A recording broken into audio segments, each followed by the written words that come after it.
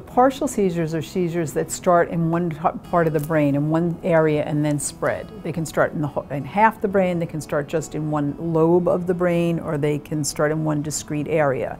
It's important to decide whether these are really generalized seizures or whether they're partial seizures because it helps with our management with medication. Partial seizures can either have impairment of consciousness associated with them or the person can be totally alert and talking during the whole seizure. So that can be something that's uh, a very simple sort of jerking. And I think what's interesting is depending on where the seizure starts is what symptom the patient might have.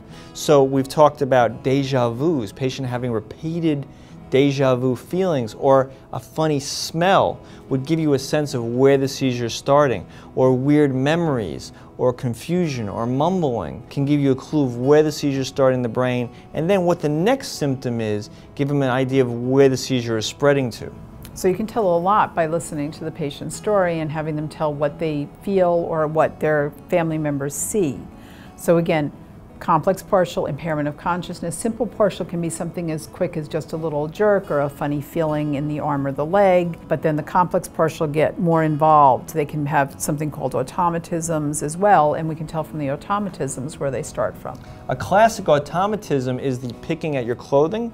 So somebody can look confused, zoned out, sort of picking at the clothing, and this is an automatic behavior that happens, and yet the patient doesn't really even know it's happening.